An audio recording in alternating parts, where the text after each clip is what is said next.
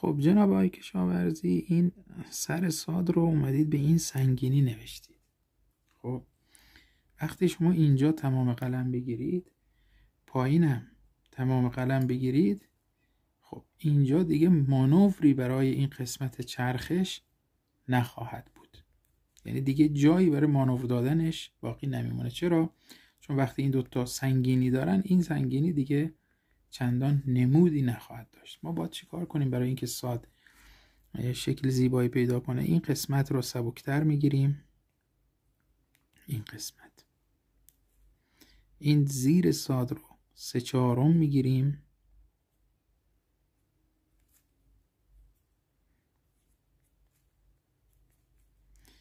و به سمت پایین که حرکت می‌کنیم اینجا حالا ما دایره ای که می‌خوایم به این وصل کنیم اینجا دایره زخامت خودش رو می‌تونه نشون بده. اگر که این زخامت بخواید خودش رو نشون بده اینجا و اینجا رو باید اندازه دقیقش اجرا بکنید. اگه اینا با تمام قلم نوشتید دیگه این قسمت خودشون نشون نمیده. اینا مهمه. در مورد نون هم دقت کنید. اولا که شکل نون اینجوری نشه. یعنی نوشته شما الان این الف رو اینقدر کشیدید پایین اینجا چرخشی که ایجاد شده رفته بالا حالت یو مانند پیدا کرده. خب ما توی نوشتن نون نباید اینقدر در افق حرکت کنیم. ببینید نون و ساد فرقی نداره اینجا چرخش داره. ببینید؟ اینجوری نباشه که حرکت افقی باشه حرکت چرخشی باشه. چه نون چه قاف چه ساد اینا همشون همه حالت رو دارن. البته شما جناب آقای کشاورزی قافتون خوبه؟ یه خوب نوشتید. ولی توی نوشتن مثلا نون مبتلا به این اشکال شدید. حالا بقیه حروف هم من براتون بگم. مثلا سین رو الان بایستی دقت کنید این تمام پهنای قلم درگیر نشه. به این شکل نباید بنویسید. ببینید این دو تا فاصله اولی یک دو. این دو تا فاصله کمتر از فاصله دو هست و سه. ببینید به این شکل. این یه نکته بسیار مهم. نکته بعدی این که این دوتا بایستی دو نقطه قلم نی بشن نه بیشتر. بعد حالا نوبت می‌رسه به مسئله دایره. یه نکته دیگه در مورد سر سین. سر سین رو ببینید خیلی یه دشواری خاصی داره. از طرفی با نصف قلمه. از طرفی یه حالت پلکانی داره. این از این پایینتره این از این پایینتر. از طرفی باید یه جوری بنویسید که هم حالت پلکانی داشته باشه هم تو نگاه اول گول بزنه و حالت افقی دیده بشه. یعنی شیب رو داریم عملا ما اینجا شیب داریم ولی این قسمتش حالت افقی دیده میشه. شیبدار دیده نمیشه. خب اینا دقت میطلبه که شما بتونید تسلط پیدا بکنید و توی کار اجرا بکنید. دوایر خیلی مهمن و تو زیبایی خط نستعلیق به شدت تاثیر گذارن و هر چقدر شما براش وقت بگذارید ارزشمنده.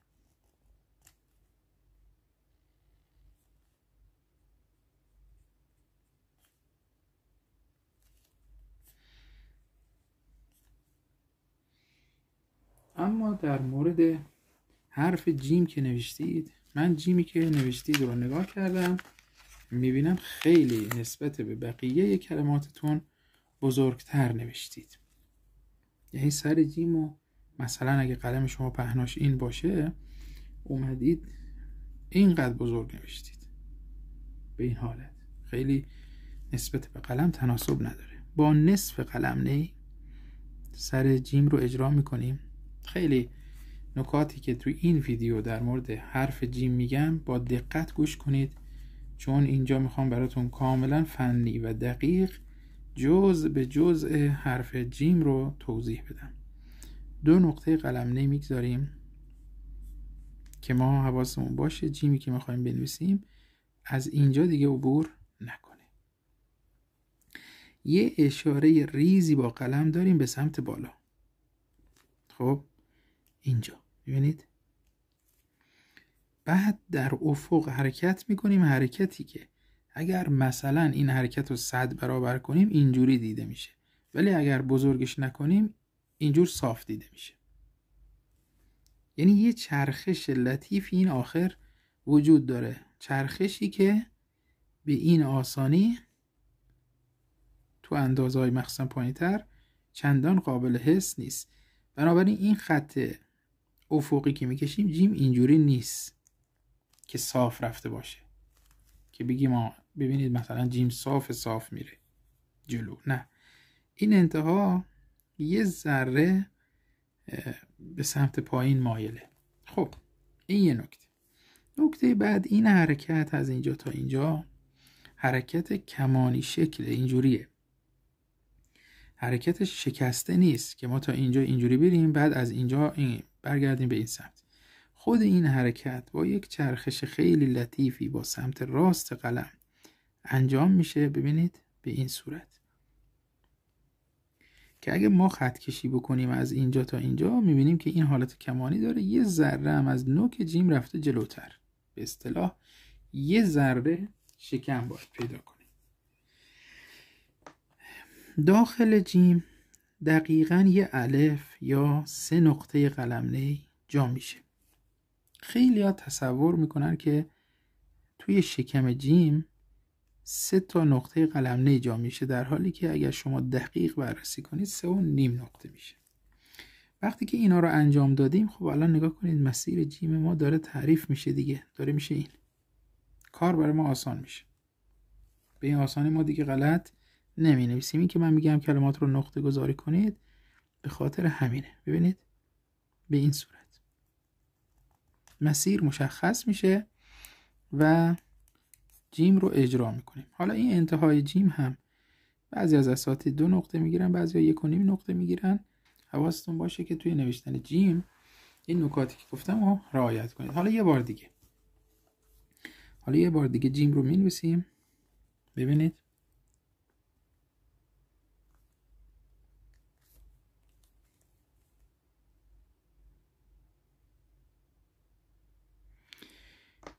اون نکته ای که گفتم جیم یه ذره قوس داره اینه. ببینید اینجا یه ذره می‌خواد بره به سمت پایین. که حالا برای مبتدی معمولا ما میگیم اینجور بنویسید صاف بنویسید. چون میترسیم اینجوری بنویسه میگیم صاف بنویس